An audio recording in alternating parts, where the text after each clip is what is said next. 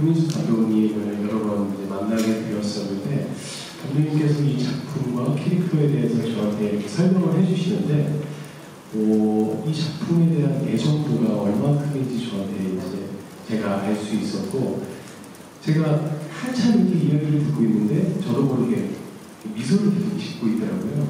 네, 그래서 굉장히 사랑스러운 작품인 것 같고 감독님께서 저한테 굉장히 중요한 말씀을 해주셨는데 배우와 함께 이 캐릭터를 같이 만들어 보고 싶다라는 말씀을 해주셨어요. 네, 굉장히 배우로서 설레는 감정이 들었고 이 작품을 꼭 한번 해보고 싶다라는 생각을 하게 되었습니다. 네, 건강하신 지금 표민수 감독님 이름 석자 듣고 어,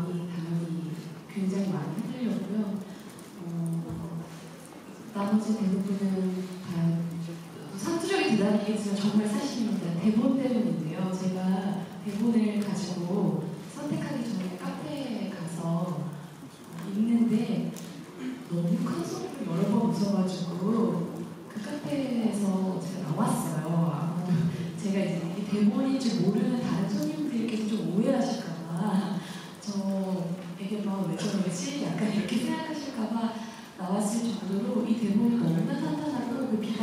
저의 신뿐만 아니라 어, 준영이와 영재 씨 너무나 사랑스럽고 또 어, 이제 아까 말, 앞서 말씀 많이 해주셨던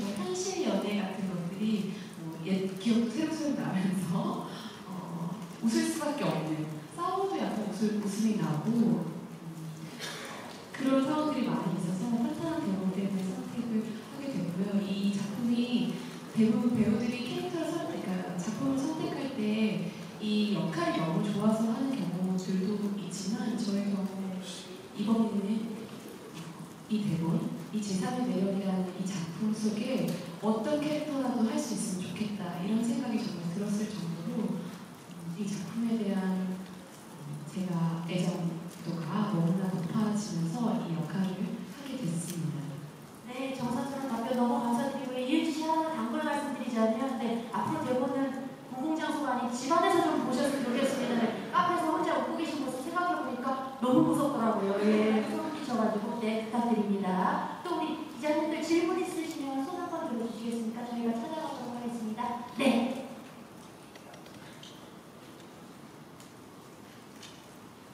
안녕하세요. 안녕하세요. 저 스포츠연구 문정기자라고 하고요. 서강준 씨께 질문 드릴게요.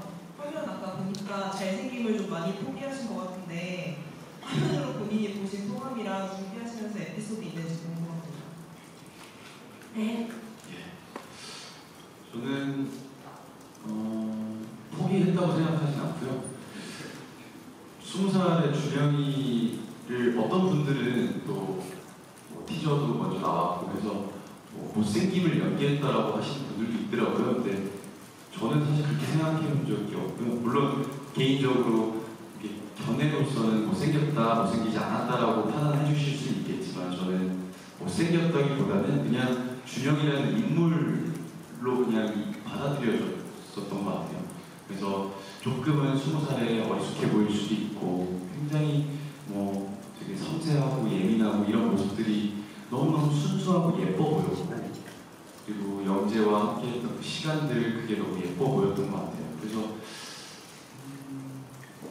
음, 뭐 저는 되게 만족하고 아주 예쁩니다. 저는 준영이가 그리고 에피소드라고 하면 교정기를 끼고 나왔어요. 근데 교정기가 이게 그 앞에 브라켓이라고 하죠. 그 브라켓을 원래 껴야 되는데 고정이 안 돼서 가짜 이빨을 만들어서 끼다 보니까 이게 너무 튀어나오더라고요. 그래서 좀 야, 코보다 더 튀어나왔다고 네, 깜짝 놀랐습니다. 그래서 제 실제 치아 위에 가짜 치아 위에 브라켓이 있어요. 아, 그래서 그런 게 조금 괜찮을까 했는데 또 보니까 이제 제가 제3의 매력에 빠져서 그런지 모르겠는데 너무 사랑스럽더